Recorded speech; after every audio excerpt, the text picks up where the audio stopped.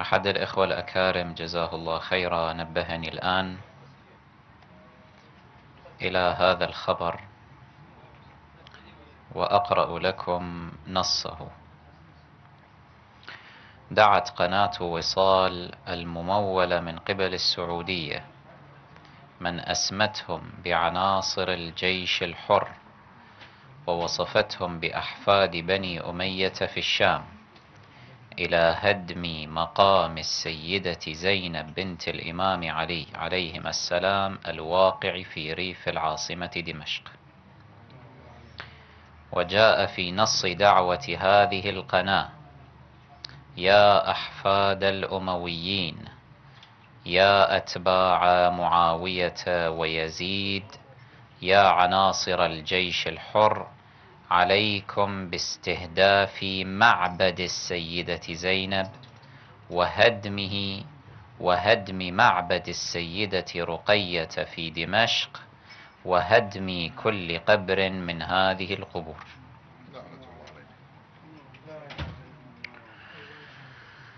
إخواني إنها الحرب. على مقدسات أهل البيت عليهم الصلاة والسلام ولم تبدأ هذه الحرب في عصرنا هذا وإنما بدأت منذ انقلاب يوم سقيفة بني ساعدة. هذا اليوم هو فصل من فصول هذه الحرب الشرسة. ولا يخفى عليكم أننا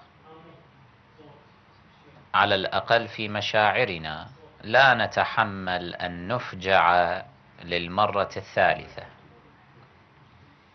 فجعنا في المرة الأولى في التفجير الذي طال مرقد إمامين العسكريين عليهما السلام. ثم فجعنا ثانية بالتفجير الثاني الذي طال المرقدين الشريفين. ولا نريد أن نفجع ثالثة. على أننا يمكن أن نعدها فاجعة رابعة لا سمح الله لأن الفاجعة الأولى هي فاجعتنا في هدم مقامات أئمتنا عليهم السلام ومقدسات النبي الأعظم وأهل البيت عليهم السلام في المدينة. فما هو الحل؟ لا أريد أن أكرر قولي الذي كنت أقوله منذ أكثر من عام حينما اشتعلت هذه الثورة السورية. كنا منذ ذلك الحين وكما تعلمون ننقد مواقف الأطراف الشيعية. ونقول إن هذا لن يكون في صالح التشيع وفي صالح الشيعة أن يصطف ممثلو الجانب الشيعي مع النظام.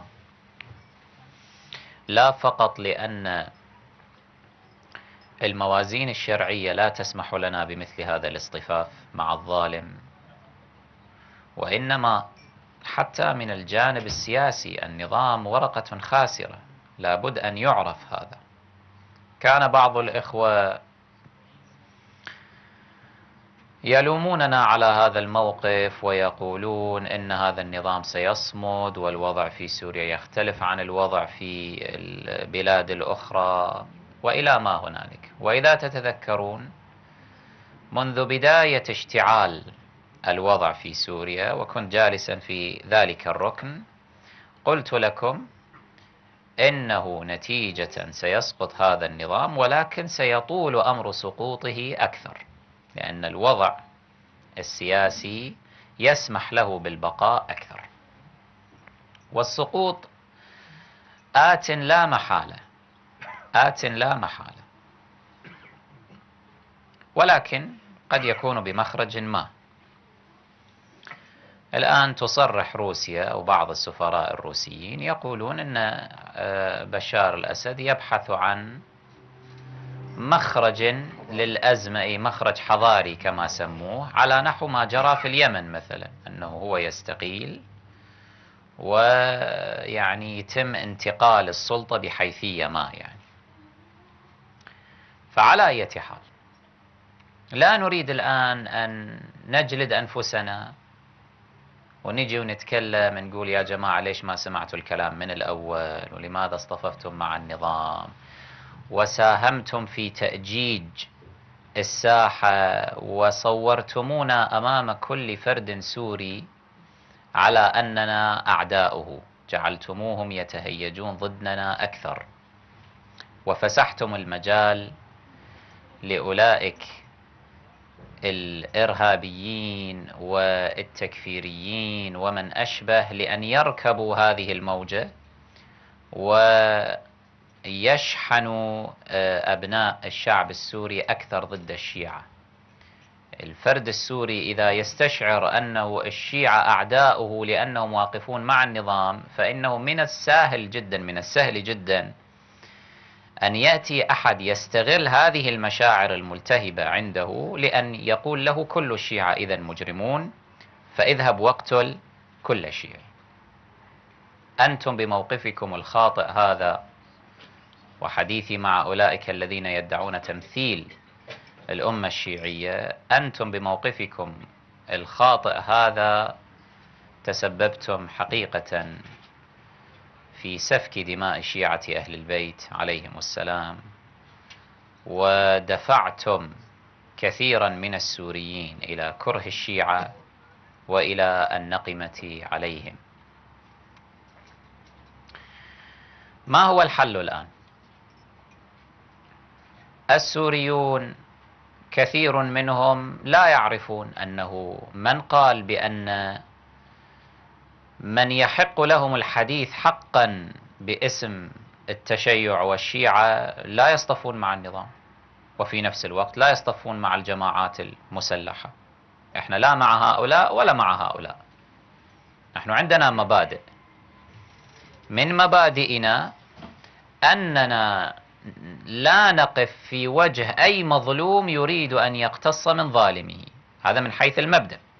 فأنتم شعب مظلوم كان عليكم نظام متجبر متسلط. لكم الحق من حيث المبدأ في أن تثوروا على هذا النظام تسقطوا هذا النظام وتختاروا الحكم الذي تريدونه. هذا من حيث المبدأ. الآن تحاولون أن تجرفوا مسار ثورتكم هذه إلى حرب لإبادة الشيعة داخل سوريا أو لهدم مقامات أئمة أهل البيت عليهم السلام. فلا أنتم هنا تتجاوزون وأنتم في الواقع ها هنا تشنون حربا ستكونون أنتم من تخسرونها. يجب أن يفهم هذا. لماذا؟ لأن الذي يدافع عن رسوله عن الرسول الأعظم وعن الأئمة الطاهرين عليهم السلام عن أهل البيت هو الله تبارك وتعالى. ولن تفلح أمة تتعدى بذرة على الرسول الأعظم أو أهل البيت الطاهرين عليهم السلام. لا تتصوروا أنكم بالمساس بهذه المقدسات. هذه نصيحة أقولها لأبناء الشعب السوري كله. لا تتصوروا أنكم بمساسكم بشيء من مقدسات أهل البيت عليهم السلام. الله عز وجل يمكن أن يبارك لكم ما تريدونه. إذا كنتم تتطلعون إلى الحرية إلى العدالة فعليكم على الأقل أن تحفظوا وديعة نبيكم. هذه زينب بنت رسول الله بنت أمير المؤمنين بنت الزهراء صلوات الله عليهم. ما شأنكم وإياها؟ يعني شنو سوت لكم زينب عليها السلام حتى تتوجهون ضد مرقدها الشريف تريدون تفجيره؟ شنو سوت لكم؟ هذه نصيحة نقولها لأولئك. أما النصيحة الداخلية نحن مع أن تقف الأطراف الشيعية وقفة محترمة على الأقل يظهرون أنفسهم على الحياد ويبرؤون من جرائم الطرفين. من جرائم الطرفين. نزه نفسك. لا تصطف مع النظام. ولا تصطف مع الجماعات المسلحة. واعمل بمبادئك. هذا التصحيح مطلوب. هذا الثاني. الشيء الثالث فيما يتعلق على الأرض الآن. ما يجري الآن على الأرض. مقام السيدة عليه الصلاة والسلام في خطر. أنا عندي اتصال مع بعض الإخوة الأكارم الذين هم حلقة ربط بيني وبين من يرابط هناك في منطقة السيدة زينب عليه الصلاة والسلام. هنا لابد أن أحيي الإخوة السوريين الشيعة والمتشيعين الذين هرعوا من إدلب ومن حلب ومن الفوعة من هذه المناطق التي سموها لي وذهبوا إلى منطقة السيدة زينب عليها الصلاة والسلام وهم الآن يدافعون عن هذه المنطقة. جزاهم الله خير الجزاء.